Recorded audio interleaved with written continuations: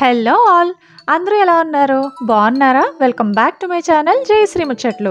ఇక ఈరోజు వీడియోలో నాన్ వెజ్ ప్రియులందరూ ఎంతో ఇష్టపడే చికెన్ ఆవకాయ ఎలా చేయాలో చూద్దాం.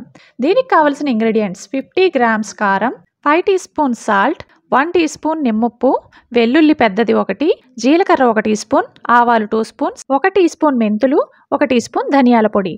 అలానే పసుపు హాఫ్ టీ స్పూన్ అల్లం వెల్లుల్లి ముద్ద రెండు స్పూన్లు వేరుశనగ నూనె లేదా పప్పు నూనె టూ ఫిఫ్టీ ఎంఎల్ అలానే చికెన్ హాఫ్ కిలో ముందుగా చికెన్ను మరీ చిన్నగానో పెద్దగానో కాకుండా మీడియం సైజులో కట్ చేసుకుని ఒక టూ త్రీ టైమ్స్ బాగా కడిగి పక్కన పెట్టుకోవాలి. ఇప్పుడు ఒక కడాయి తీసుకుని దానిలో ముందుగా రెడీ చేసి పెట్టుకున్న చికెన్ వేసుకుని దానిలో ఒక మూడు స్పూన్లు కారం అలాగే రెండు స్పూన్ల ఉప్పు.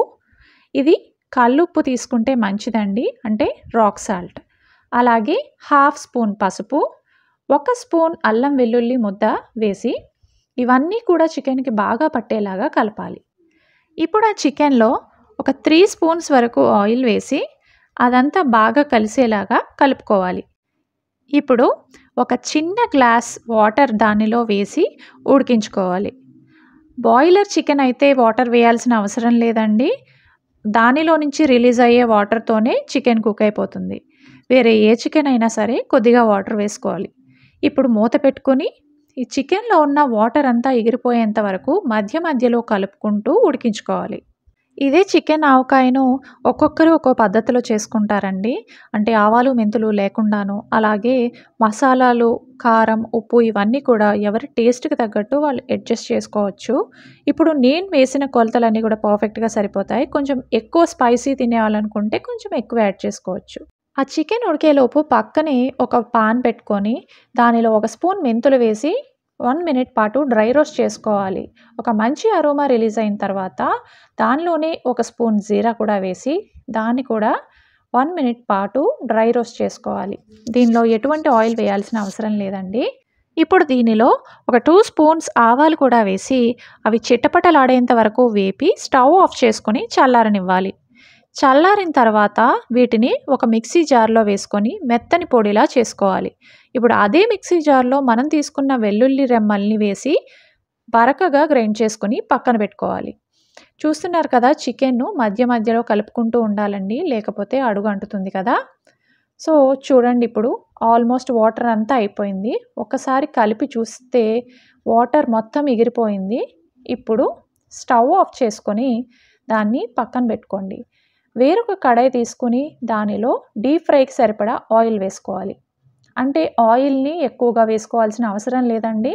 మనం ఏదైతే క్వాంటిటీ ఆవకాయ కోసం తీసుకున్నామో అది వేసుకుంటే సరిపోతుంది. ఇప్పుడు ఆయిల్ వేడైన తర్వాత మనం ఉడికించి పెట్టుకున్న చికెన్ని కొద్ది కొద్దిగా వేసి గోల్డెన్ బ్రౌన్ కలర్ వచ్చేంత వరకు కూడా మీడియం ఫ్లేమ్లో పెట్టుకొని వేపించుకోవాలండి. చికెన్ మరీ ఎక్కువగా వేగితే ఆవకాయలో ముక్క చాలా గట్టిగా అయిపోతుంది. సో మరీ ఎక్కువగా వేగించకుండా మీడియంగా వేయించుకోండి. ఇలా ఉడికించిన చికెన్ మొత్తం బ్యాచెస్ లాగా మొత్తం అంతా డీప్ ఫ్రై అయ్యేంత వరకు వేపించుకుని ఒక బౌల్లో వేసుకోవాలి. ఇప్పుడు అదే ఆయిల్లో ముందుగా మనం గ్రైండ్ చేసి పెట్టుకున్న వెల్లుల్లి ముద్ద వేసి బాగా వేపుకోవాలి. అది బాగా వేగిన తర్వాత ఒక మంచి స్మెల్ వస్తుందండి. అప్పుడు స్టవ్ ఆన్ చేసి ఆ వేడి ఆయిల్ని డైరెక్ట్గా చికెన్ ముక్కల్లో వేసుకొని దానిలో ఒక స్పూన్ నిమ్మప్పు లేదా నిమ్మకాయ రసం కూడా మీరు తీసుకోవచ్చు. అలానే ధనియా పౌడర్ మనం రెడీ చేసుకున్న గరం మసాలా పౌడర్ ఒక ఫైవ్ స్పూన్స్ వరకు కారం త్రీ స్పూన్స్ సాల్ట్ కూడా వేసుకొని ఇవన్నీ బాగా కలిసేలాగా కలపాలి. అలా కలిపిన తర్వాత దాన్ని కొన్ని గంటల పాటు పక్కన పెట్టుకుంటే నిమ్మప్పు మసాలా ఇవన్నీ కూడా ముక్కలకి బాగా పట్టి tasty yummy chicken pickle ready అవుతుంది. దీన్ని ఒక గాజు కంటైనర్లో స్టోర్ చేసుకుని టూ మంత్స్ వరకు ఎంజాయ్ చేయొచ్చు. సో ఫ్రెండ్స్ నా వీడియో కనుక మీకు నచ్చినట్టయితే please do like share and subscribe my channel. అలానే మీ అభిప్రాయాల్ని నాకు కామెంట్ సెక్షన్లో చెప్పండి.